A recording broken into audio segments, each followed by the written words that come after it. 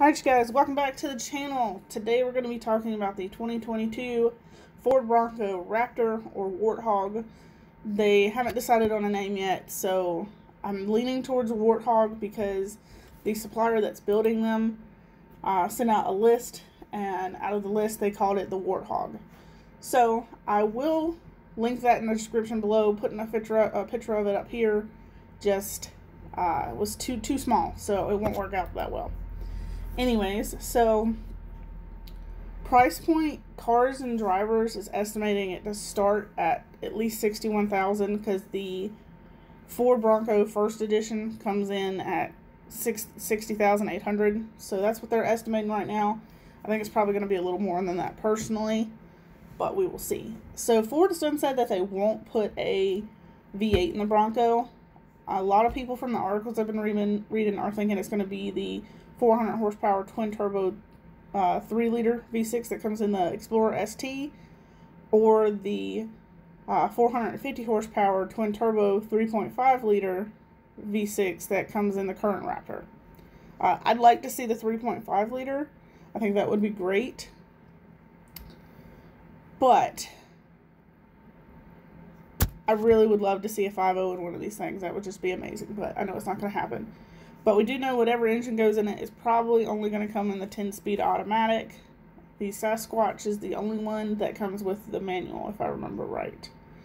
So, as I said, it will have the same suspension as the Bronco, I mean the Raptor, uh, on 37s, which is 37s from the factory. Woo! That's, mm, mm. That's just beautiful. Ford a lot of people are talking about Dodge right now, pulling out all the stops with their cars like, hey, everybody's going to electric and hybrid, and we're building these 800 horsepower uh, Hellcats. But Ford is doing it with their trucks. Ford, that that's what Ford's known for. And that's where they're putting their money in their investment. People, not everybody's wanting sports cars with kids anymore. But, man,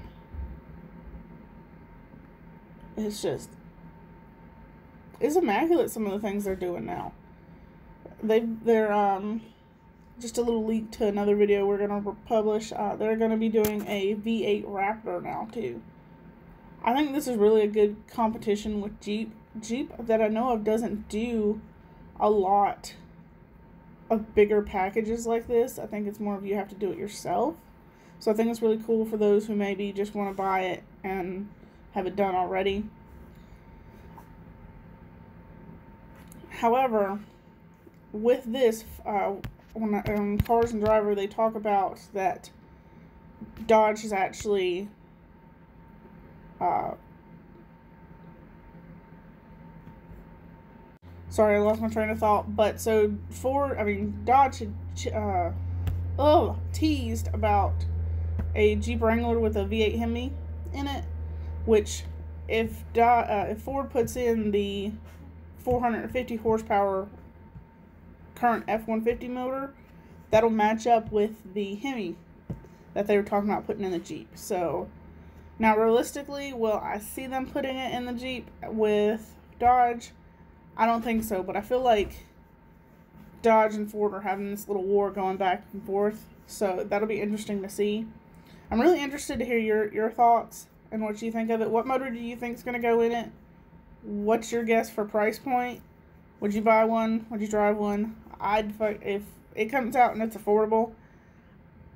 It would be hard, especially if it comes in a little bit lower than the Raptor. It would be hard to say no, because that just it just looks like it's a lot of fun. I mean, look at it, and I'm sure it is. And I know the Raptor is a lot of fun, but and I mean the Raptors. I think they start at like 65, so 61 wouldn't surprise me. But anyways, let me know what you think down in the comments below.